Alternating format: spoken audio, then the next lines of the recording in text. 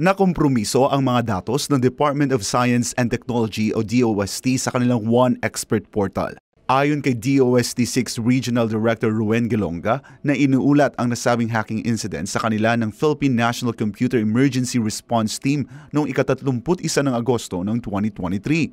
Batay sa kanilang investigasyon, ani Gelonga, maaaring isang compromised account ang ginamit upang ma-access ang One Expert website. Kabilang sa mga datos na inilabas ng mga hacker sa Facebook ay listahan ng mga pangalan ng kanilang technical experts, kanilang mga email address, pati na rin ang email address ng mga gumagamit ng nasabing portal. Sa kabila nito, tiniyak ng DOST na walang sensitibong personal na impormasyon ang nakompromiso. Naibalik na sa normal ang operasyon ng website. Siniguro rin ng DOST na nagpapatupad sila ng mga hakbang upang palakasin ang seguridad ng kanilang mga information system sa layong maghatid ng science and technology services sa publiko.